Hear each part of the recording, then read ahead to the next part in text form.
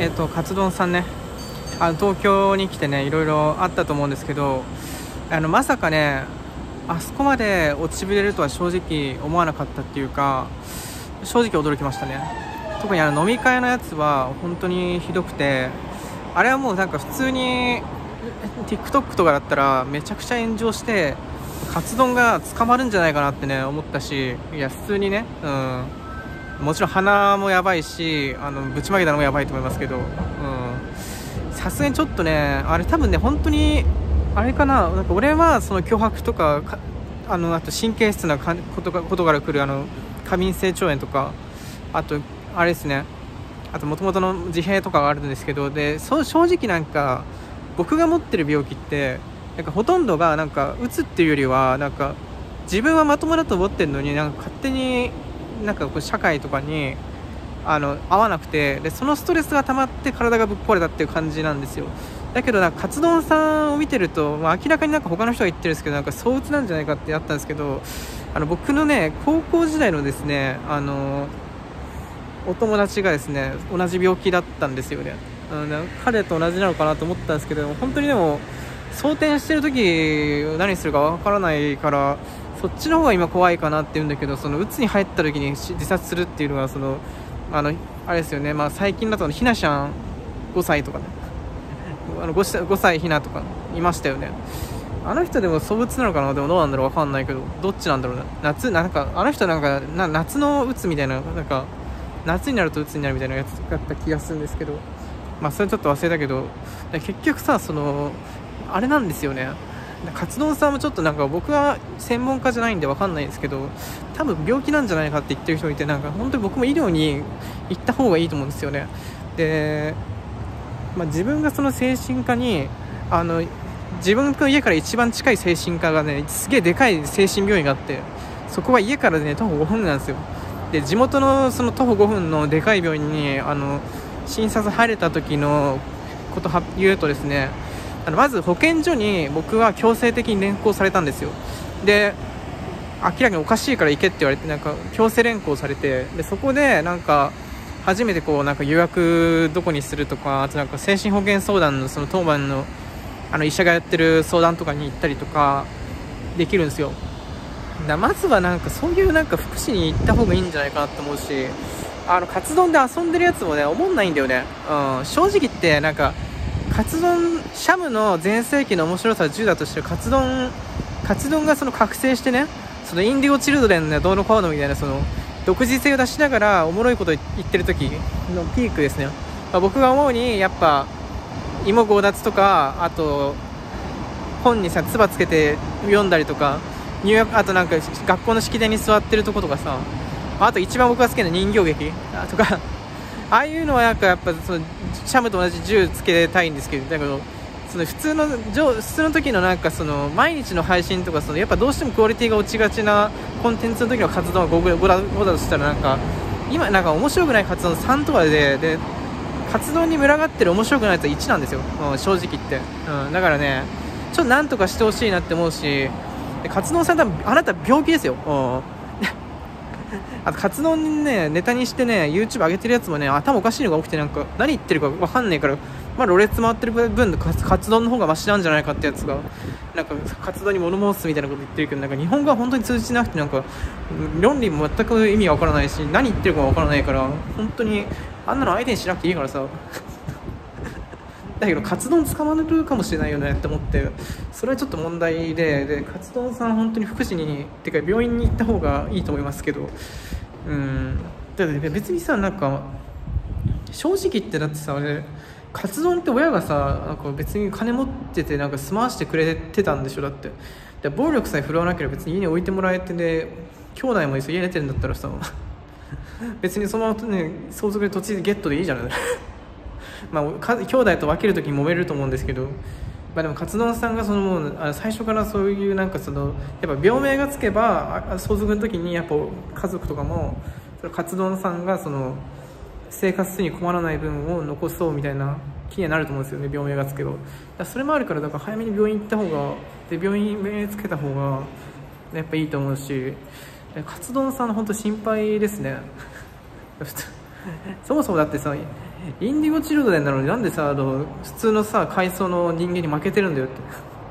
いや東京っていう街が属すぎたのかもしれないな。だから宮城にこもってた方がいいのかなって思うし別に東京に来てもなんか何者に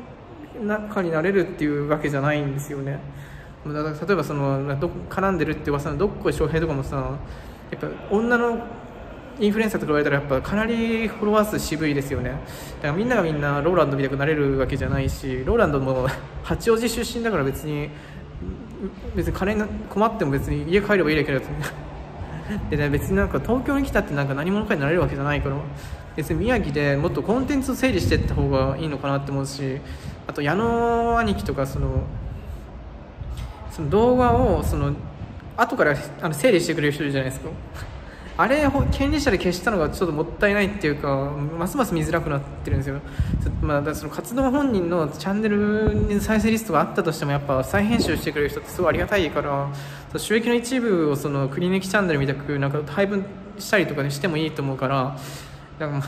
ちゃんとそのなんか YouTube でなんか転載してる人の中でうまく上げてくれてる人に何人か声をかけて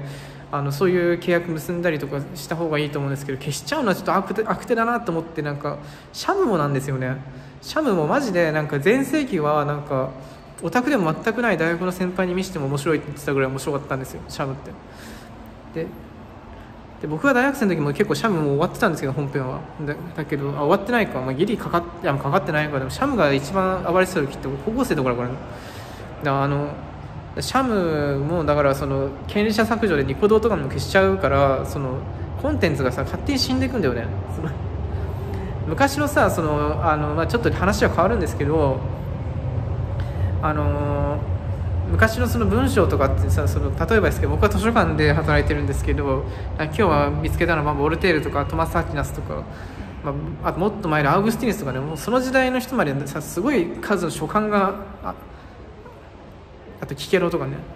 すごい数の書簡が残ってるわけですよ。例えそのあのアレキサンドリア図書館とかそのバグダッドの図書館とかあバグダッドの書庫と書庫とかそういうのとかがあと世界大戦で焼けたりとかね近代になってからもしてもやっぱ残ってるわけなんですよ。だからこうやってコンテンツがもう一回後から若い人がそうやって読んでこういう人がいたんだって学ぶわけで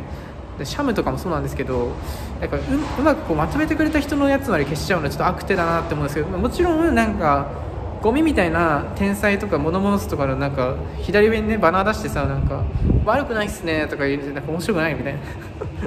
面白くないやつをなんかめっちゃ上げて天才してる人とかにはなんか権利者仕様で入れてあの消してもいいかもしれないですけど。でもさやっぱり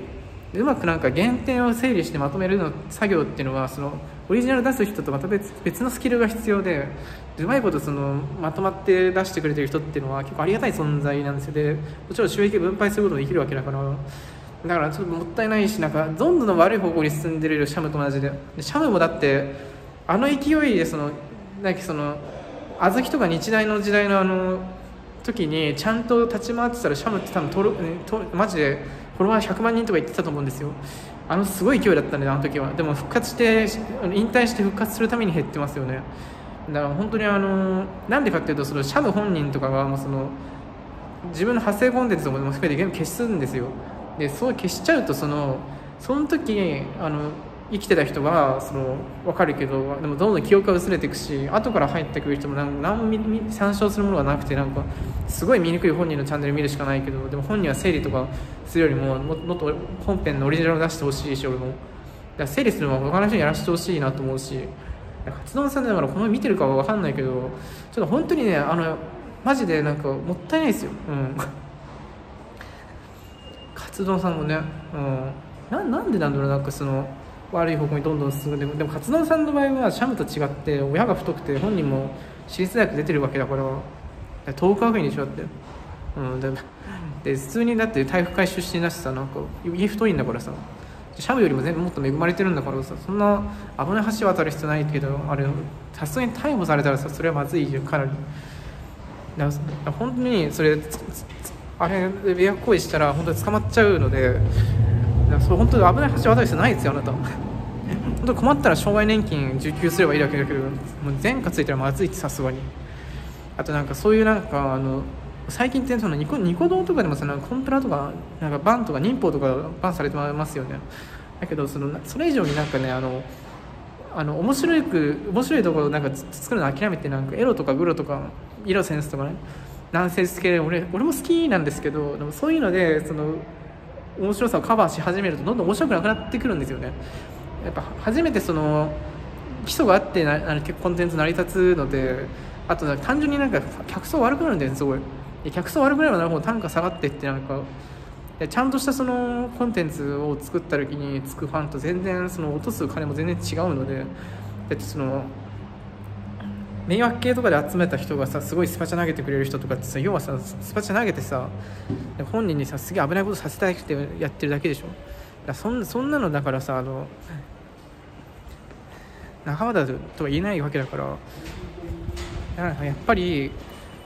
普通にあの ちゃんとやるべきだと思うけどもちろんなんかそのどうしてもなんかそのエログロダンセンスイノセンスああいうジャンルやりたいなったらなんか全然別のとこでやればいいわけだし。今時って結構本当いやでも本当ポテンシャル考えたらって本当にもったいないと思うか。あれですよね。東京に来るんだったらホストになったりオフ会やるんじゃなくてなんかオフ会とかやってもいいけどさなんか悪い人に囲まれるぐらいだったらオフ会もやらずにさなんか純粋になんか DM でなんか普通に放送作家とかあと編集やってくれる人とかをなんか選抜したりしてなんかその選抜する様子をなんか YouTube で撮ったりしてすればいいんじゃないかなってそれぐらいじゃ東京でできることって。だ柏木公園で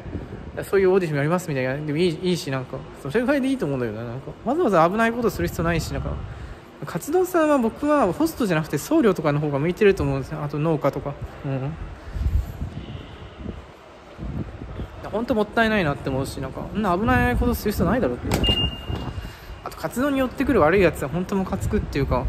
ああいうやつらがいるからコンテンツ長く持たないっていうしかも面白くねえんだよな。面白きゃいいんだけどさ俺 IU700 だけ思ったのが面白くないんだよとにかく。バカみたいなやつはさもちろん面白くないからさ。勘弁してほしいんだよねマジで、うん、シャムもさ操縦するやつは面白くなさすぎです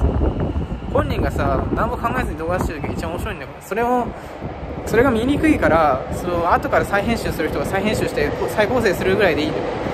手加えたのはもう完全にマットとか発生コンテンツでいいじゃないですか、うん、だから本当だからやめてほしいっていうか、カツ丼さんだから本当